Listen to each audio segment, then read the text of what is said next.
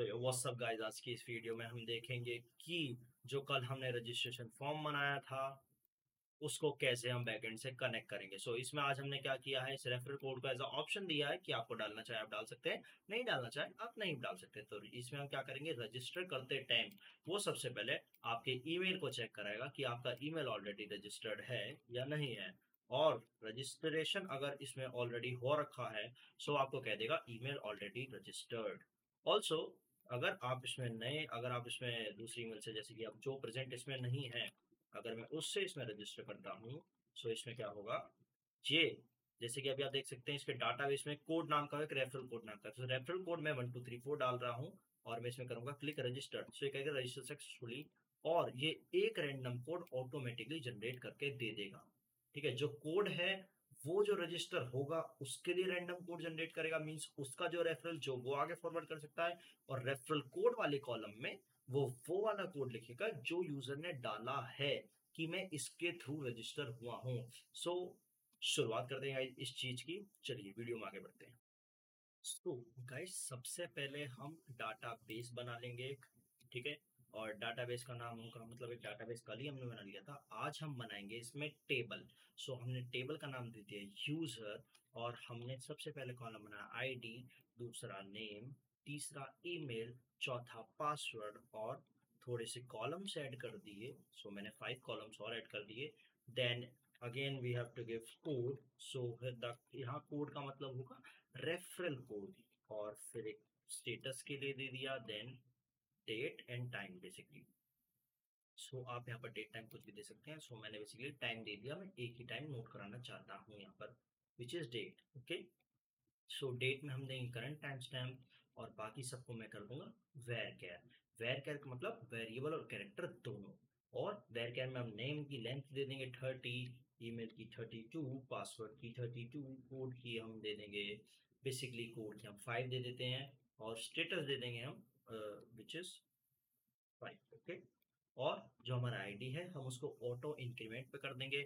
Auto increment का मतलब कि जब भी कोई नई टेबल आए जब भी कोई नई रो ऐड होगी तो वो ऑटोमेटिकली उसको एक नंबर असाइन हो जाएगा ऐसे तो हमने कल एक काम कर लिया था कि जो हमारी बैकएंड डॉट पीएचपी है, उस पर हमने फ्रंट एंड से डाटा बैकएंड पर भिजवा दिया था। अब मैं क्या करूँगा? एक वेरिएबल बनाऊँगा dollar S Q L which is equal to insert okay सबसे पहले हम चेक कर लेंगे कि वो यूज़र ऑलरेडी रजिस्टर्ड है या नहीं है। तो हम क्या चेक करेंगे?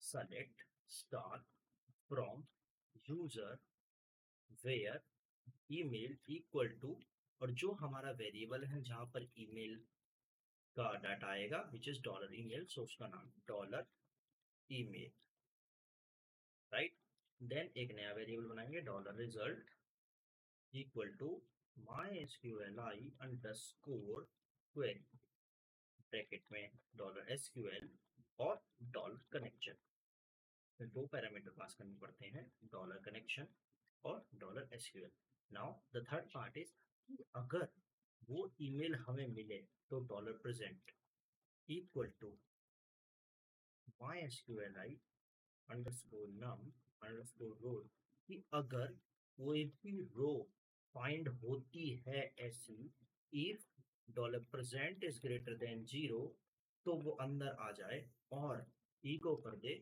email already exist email already registered basically else और अगर ऐसा ना हो तो वो एक क्वेरी रन कराए, क्या? Dollar S Q L equal to insert into user और अंदर क्या डाल दे, सबसे पहले आएगा हमारा name comma email comma password comma code and comma status right status basically और इसको कर दिया देन वैल्यूज़ सो एक क्वेरीज होती हैं माइस्क्यूएल में insert into user where email इतने इतने इतने इतने this this this this this तो आपको पहले वाले ब्रैकेट में कॉलम के नाम देने पड़ते हैं और दूसरे वाले में उन वेरिएबल्स के नाम जिसमें आपको वो डाटा प्रेजेंट है।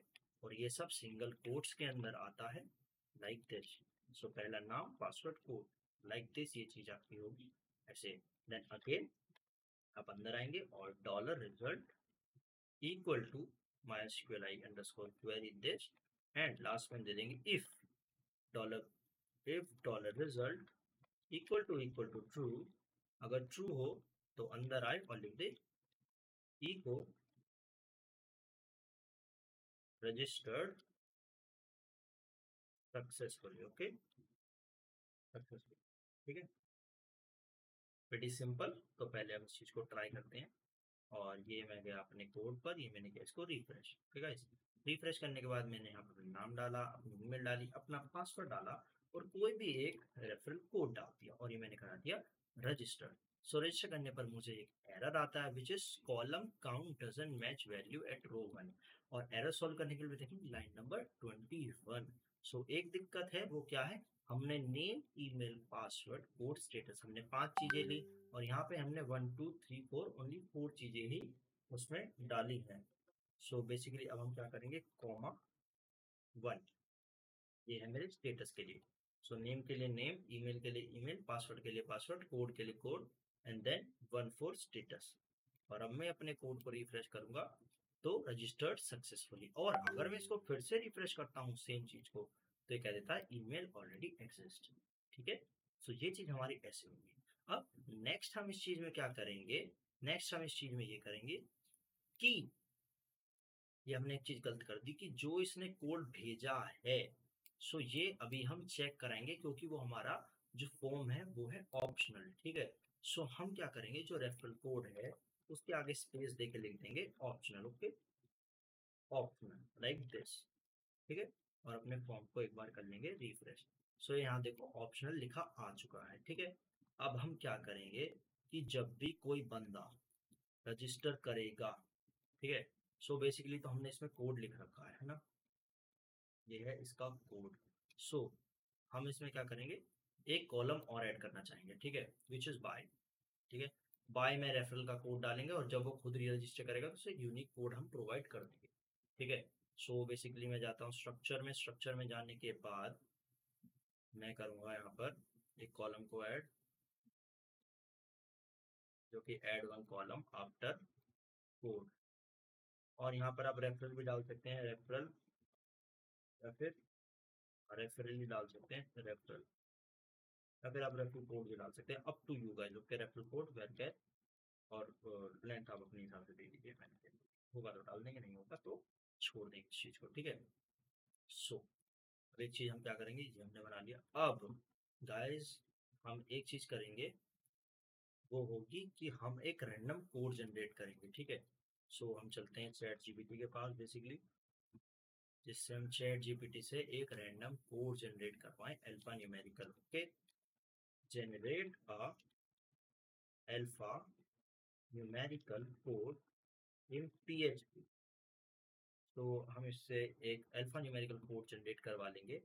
सो so, ये चाहती है इसकी लेंथ तो हम बाद में कम कर सकते हैं which is not issue so मैंने इस चीज़ को कॉपी किया।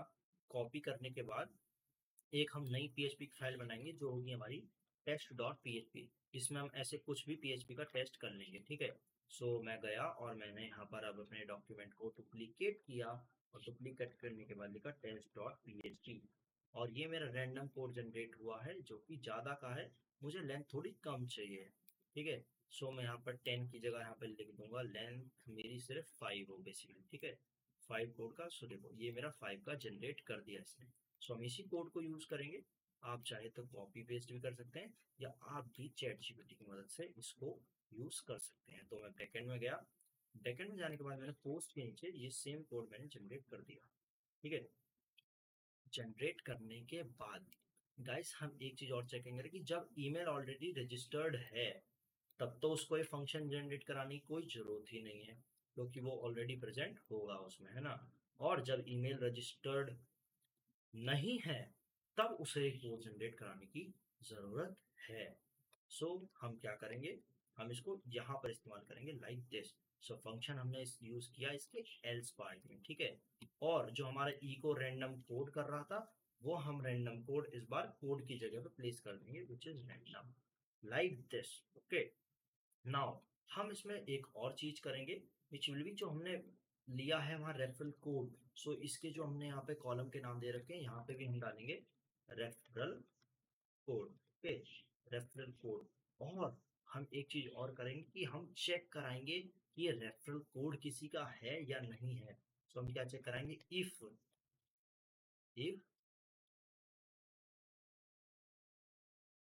तो ये नल भी हो सकता है ओके ये नल भी हो सकता है। कोड मैं यहाँ पर चेक नहीं कराऊँगा, इसको मैं यहाँ से हटा लेता हूँ, ठीक है. If dollar underscore post if dollar underscore post अगर डॉलर अंडरस्कोर पोस्ट कोड वहाँ से आता है, ठीक है? कोड आता है तो अंदर आए। अंदर आने के बाद वो एक वेरिएबल में स्टोर हो जाए, ठीक है?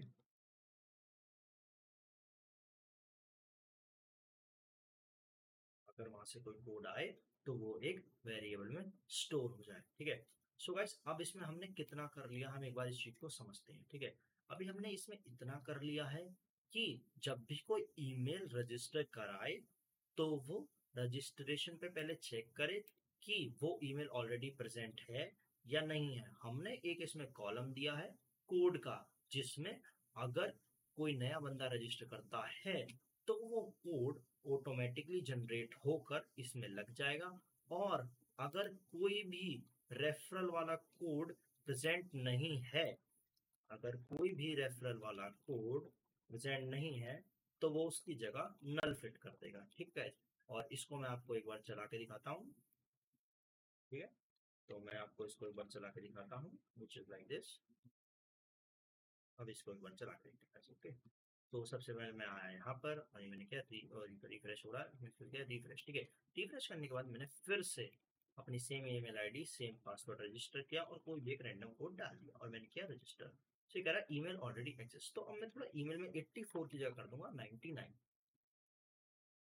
डॉट कॉम और 84 की जगह मैं कर दूँगा गाइस यहाँ पर 99 और 99 करने के बाद मैंने यहाँ पर क्लिक कर दिया रजिस्टर पर. सो रजिस्टर पर क्लिक करने के बाद कह रहा है undefined variable random code so let's see ऐसा क्यों कह रहा है? सो so, जैसे कि मैं यहाँ पर था रैंडम कोड यहाँ जनरेट हो रहा है नो इश्यूज़ और मैं इस डॉलर कोड की जगह ये तो यहाँ से कोड रिटर्न कर रहा है। एक सही चीज़ डॉलर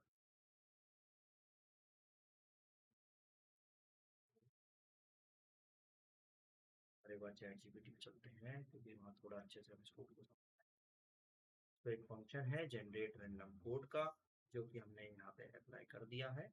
और ठीक है, बिल्कुल परफेक्ट है ये चीज़, और अब आई थिंक ये चीज़ सही काम करेगी।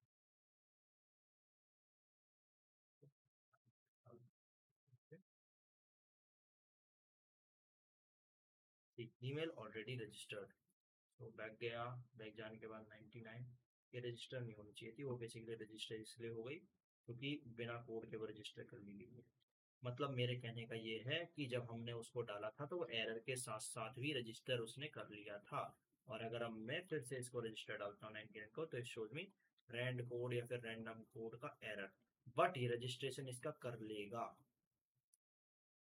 कहने का मतलब है आई थिंक ये कोड जनरेट नहीं कर रहा है फ़िलहाल गाइस ये कोड जनरेट नहीं कर रहा है। तो रैंडम कोड इज़ दिस और लास्ट टाइम क्या यूज़ किया था उसमें ओके सो गाइस दिक्कत मैं समझ गया हूँ, और आप भी समझिए कि जो दिक्कत है ना, वो रैंडम कोड का सी कैपिटल है बेसिकली ठीक है? रैंडम कोड का सी कैपिटल है, जो कि हमें करना था, जो कि हम करना भूल गए, जी। ईमेल ऑलरेडी एग्जिस्ट आएगा कोई दिक्कत नहीं है और इस बार रिफ्रेश करेंगे। सो रजिस्टर सक्सेसफुली तो इस बार आप देख सकते हैं एक रैंडम कोड वो ऑटोमेटिकली आपको दे देगा।